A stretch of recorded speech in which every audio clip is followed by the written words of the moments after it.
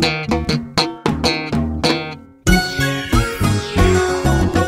orgullo!